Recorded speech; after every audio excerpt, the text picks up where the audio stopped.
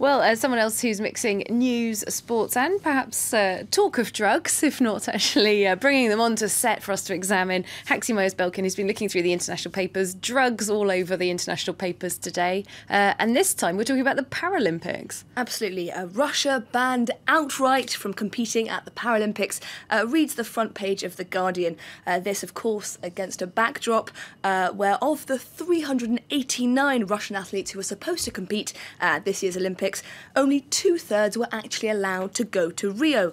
Uh, recent weeks and months have revealed a vast Russian uh, government sponsored doping program, and according to this piece, uh, Sir Philip Craven, who's the International Paralympic Committee president, had the courage of his convictions. Uh, the Guardian quotes him as saying that the Russian government has catastrophically failed its para athletes. Their medals over morality mentality disgusts me, he said. Very strong words indeed from him. Uh, there's also an article in the Daily Beast about this. Uh, they're arguing it's not just Russia who should be ashamed. Uh, they say that uh, the International Olympic Committee has been uh, taught a lesson as well. Absolutely. The, uh, the author of this piece doesn't pack any punches. the Olympic spirit survives, he writes, but only at the Paralympics. he continues Craven's bold ruling and his explosive attack on institutionalised drug cheating served only to highlight the Olympics' lack of conviction. That, of course, in their decision to allow two thirds of Russian athletes to compete at the Olympics. And I mean, one of the main issues is uh, people wondering how much can we really trust the results that are going to be coming out, who's clean, who isn't, that kind of thing.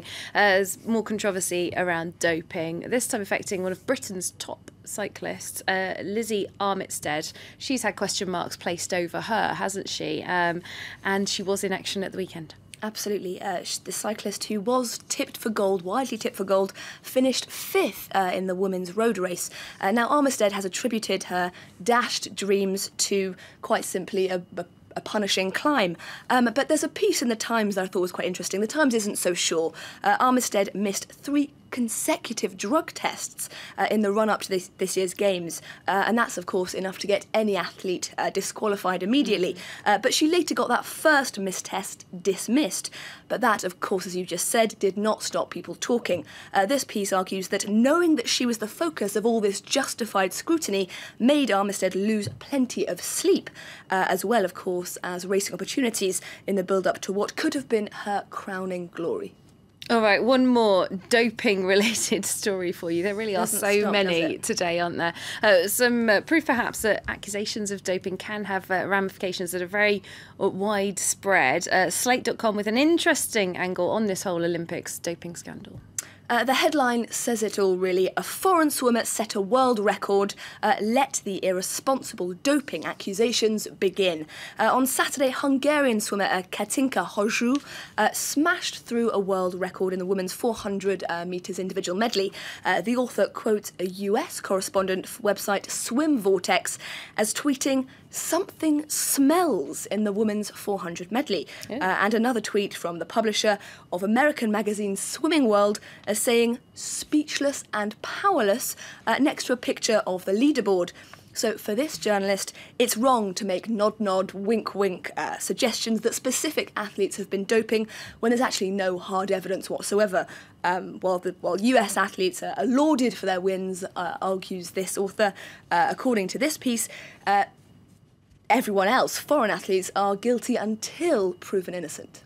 All right, uh, it really is uh, quite a murky situation. Lots of uh, claims, counterclaims, and suspicion. It's all summed up uh, quite well in a, a, cartoon that you've picked out for a us. cartoon in the Times, yes. Uh, we see Christ the Redeemer um, looking on in despair at an Olympic city comprised, as you can see there, uh, of a cheating stadium, oh. a bribery venue, a scam zone, a synchronised mugging area, and a thief park. I have to say, I've personally been enjoying the sporting action at the Rio Olympics just to balance things up a little bit. But yes, there is a lot of scandal around it. Let's move on to another story. This one's from the Turkish press. Uh, they've been covering that enormous demonstration in Istanbul yesterday. It was uh, slated as a unity rally. It sort of seemed to be more of a pro government thing. Absolutely. Uh, millions stand for democracy reads the front page of mainstream paper, uh, the Hurriyet Daily News. It's worth saying here that non Turkish media outlets are putting that number uh, quite a bit lower. Mm-hmm. Uh, it goes on. After defeating the uh, July 15th coup plotters, millions of citizens gather for a pro democracy rally, uh, leaving aside all of their political differences. so, very much a message of national unity here. Mm-hmm. And it's a very similar story uh, in the pro government Daily Sabah uh, editorial. Sunday's rally is described as the most inclusive in the Turkish Republic's history, uh, with political parties representing polar opposites uniting to defend democracy. And then comes a rather strongly worded dig at American and European coverage of recent events in the country and a hope that Sunday's rally uh, will be covered uh, positively on their front pages. All right, that's where we'll have to leave it. Thanks so much, uh, Belkin, taking us uh, through the international papers there.